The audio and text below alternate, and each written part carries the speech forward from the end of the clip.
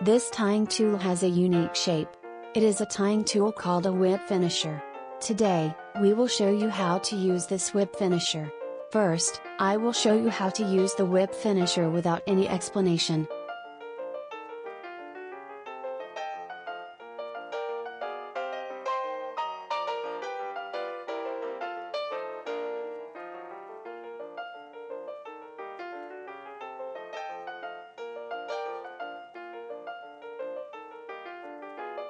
I will now explain. First, hook the tip of the whip finisher, the V-shaped part, onto the thread. Fold back the threads starting from the V-shaped part of the whip finisher.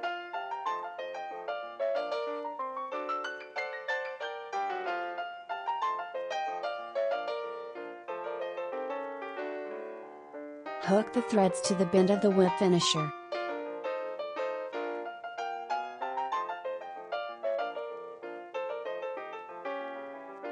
The thread hook to the bend of the whip finisher is overlaid on the thread on the eye side of the hook to form a triangle. Then, using the intersection of the threads as a fulcrum, turn the whip finisher around.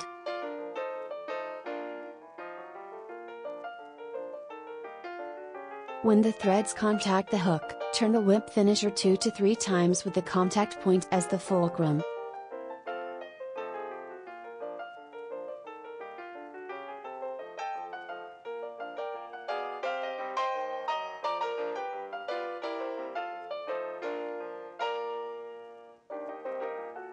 Remove the thread that was hooked to the bend of the whip finisher from the whip finisher.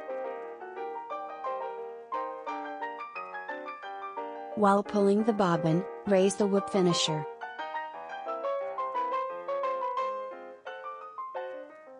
Remove the thread that was hooked to the V-shaped part of the whip finisher from the whip finisher. Pull the bobbin and pull it with a somewhat stronger tension. This completes the whip finisher.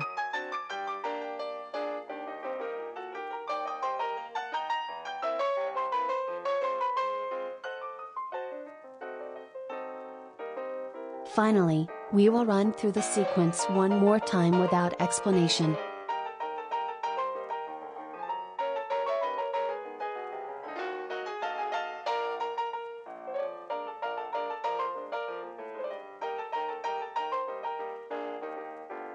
This concludes the explanation.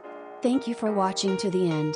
If this video was helpful in any way, we would appreciate it if you could click the high rating button.